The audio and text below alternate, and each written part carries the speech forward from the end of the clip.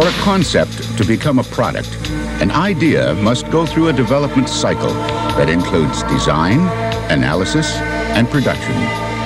Typically, this cycle involves the marketing, engineering, and manufacturing departments, which may have different goals and priorities.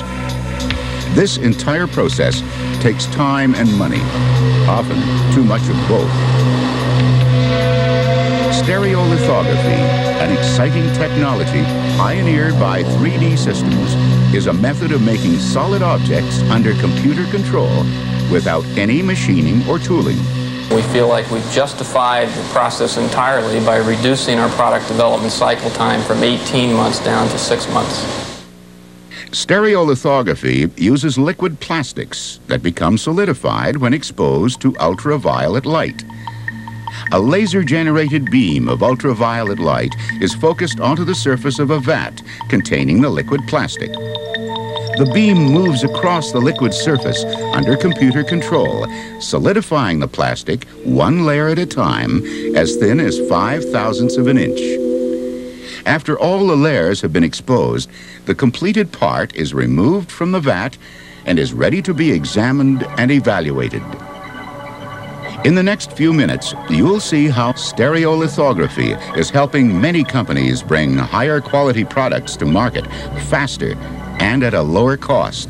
Well, here at GE, we're interested in reducing the product introduction cycle, and I saw the stereolithography process as a, a good way to make a, a quick and accurate prototype part, which definitely impacts the product introduction cycle. The primary thing that we're looking for is serving our customer. We're trying to reduce the cycle time during the development process for our customers. And this is a very important tool for doing that. For any product to be successful, it must satisfy a market need. Identifying that need is a time-consuming task, especially in the diversified and changing consumer marketplace. General Electric, the world's largest manufacturer of consumer appliances, was quick to start using stereolithography as a design tool.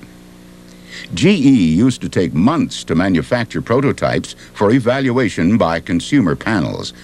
Now GE uses stereolithography to make prototypes in a matter of hours.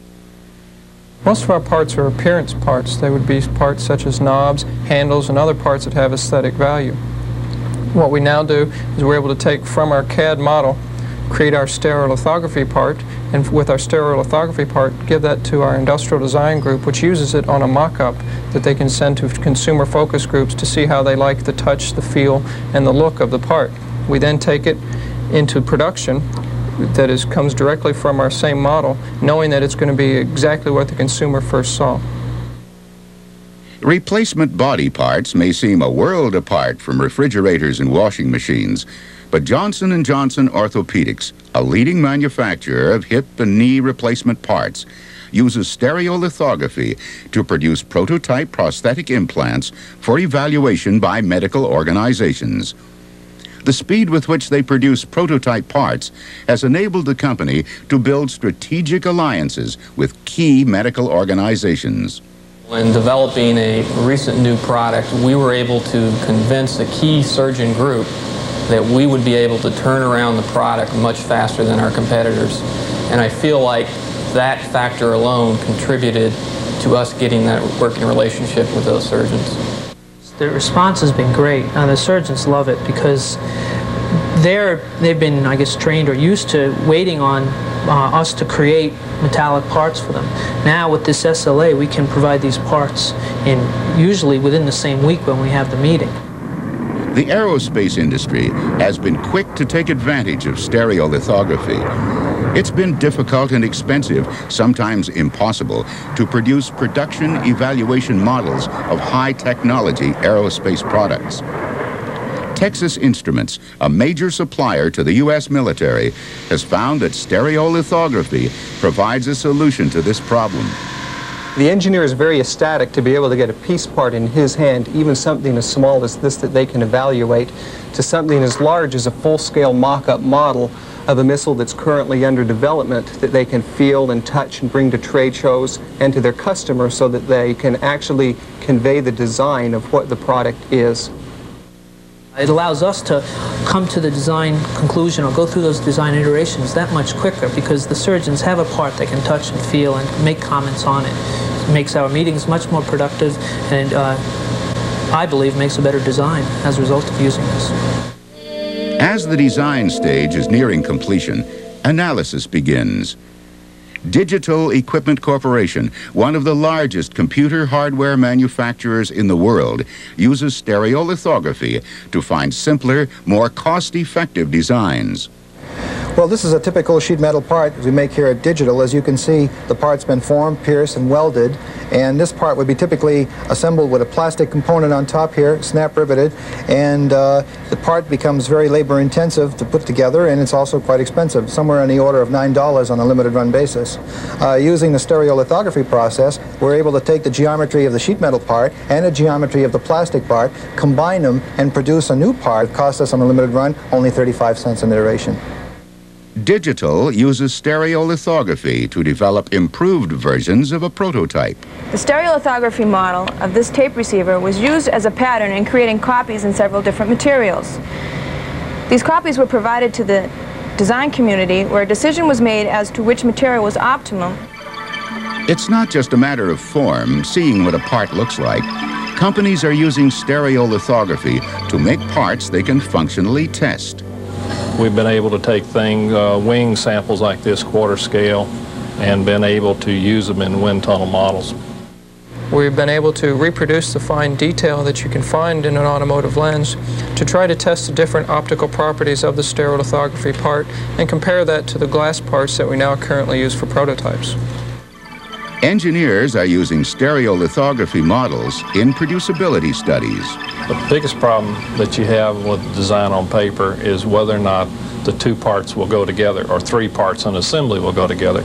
As this part right here and this part right here, when we designed it, we didn't know whether it would go together. But with the ability of using stereolithography, you can see that the part does go together and the engineer can see where he may have to do some clearance cuts if necessary. This component was designed using solid modeling technology. The stereolithography prototype showed us that some areas of the design would be difficult to manufacture. These areas were not recognized in the CAD model. Production is the third stage of the product development cycle. The SLA apparatus was originally justified as an R&D tool, but we were pleasantly surprised that our manufacturing group quickly wanted to utilize the equipment. Some of the ways they've utilized it is in tool development, uh, programming, proving, uh, packaging development, and things of that nature that make up the manufacturing area of process development. This has allowed the manufacturing engineers to be much more confident with the product before they send it to the production floor. Cascade Engineering, a supplier of injected molded parts to the automotive industry, uses stereolithography to streamline the mold making process. Traditionally, full-size models are hand-constructed and then duplicated into steel. There's a significant investment in the steel, obviously, that we want to make sure that we have the right product uh, being produced in that steel and use the SLA model to actually check and verify the data that we have in the CAD system. So we'll be able to go directly from CAD directly into cutting the steel in these very, very large parts. Stereolithography models can be used as patterns for a variety of mold-making techniques. We think the SLA is, uh, is absolutely exciting technology. We think it's going to bring us into a new era in the mold-making process. We're able to use our stereolithography part to create a spray metal mold that we can then use for injection molding a small number of parts for testing and evaluation. By utilizing the SLA, we can use it to create a master. This master is then used to create a rubber mold, which we inject wax into, used in the investment casting process to create an actual cast cobalt chromium device. You have just seen how several major companies are using stereolithography to help solve design, analysis, and production problems. They are experiencing the benefits of greatly reduced time to market, as well as reduced costs and improved product quality. Stereolithography's unique ability to transform complex data into solid parts that can be handled and evaluated without the need for time-consuming manual operations offers universal benefits to companies that manufacture many different types of products. We've had the machine installed for just two months and been very happy with the results. We've produced a number of parts. Uh, it's fully lived up to our expectations. Uh, the system came up to speed quickly. The interface software has worked well, so we've been fully satisfied. The SLA is a very important part of this saving time during our development cycle. Uh, from the time a product is conceived to the time it is making into a, made into a production part, we're going to be saving time as a result of using the SLA. We feel that we've demonstrated with our SLA equipment that we can turn around products faster than anyone in the industry. I always say that I'm a little lazy, so if I could find an easier way to do something, I'm interested in it, and I think my plant reflects that, and that's why we're interested in stereolithography. 3D systems, changing the way industry brings new products to market.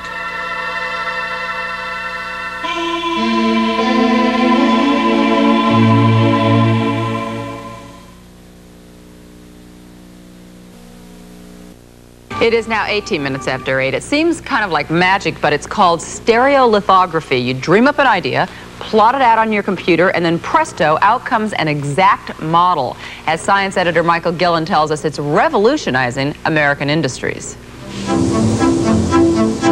Ever since the Industrial Revolution, we've learned to make things, lots of things, quickly and cheaply.